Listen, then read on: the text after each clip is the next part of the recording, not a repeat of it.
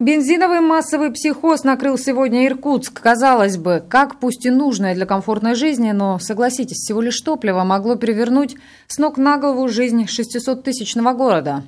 Но достаточно сначала подорожать бензину, потом исчезнуть товару на ряде АЗС. Плюс слухи, которые за неимением официальной информации нарастают как снежный ком. И вот в столице региона топливный коллапс. Как Иркутск переживает испытания бензином, увидела Антонина Махнева. Бензина-то много еще осталось? Знаю. Но пятого нету. А второй? Второй есть.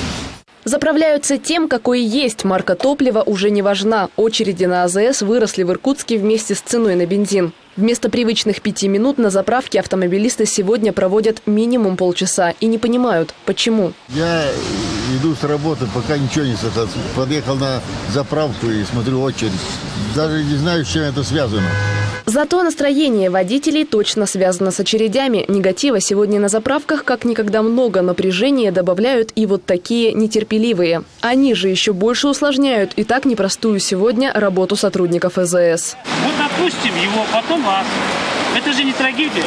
Хотя и реальная трагедия из-за таких очередей все же не исключена. Уже 25 минут вместе со всеми бензина ждет и машина скорой помощи. Конечно, вызова есть, да. Ну, ну заправиться нам же Идут надо. задержки вызовов, но так как мы без бензина ехать тоже не можем. Преимущество у скорой только одно свои литры она получит в любом случае. Ведь как пожарная и полиция они заправляются по договору, а значит для них на всех заправках есть резерв. Что же ждет остальных автомобилистов, пока сказать сложно. Несмотря на то, что этим людям придется провести еще некоторое время в очередях и уж точно опоздать на работу, их можно назвать счастливчиками, ведь они, по крайней мере, уже точно смогут получить необходимое количество бензина, которым хватит на несколько дней. И может быть необходимость в такой массовой дозаправке есть. Если на этой АЗС нет только 95-го бензина, то у другой крупной сети дела обстоят хуже. Только по, по платежной карте. А почему? Нет бензина. Вообще никакого. Вообще никакого.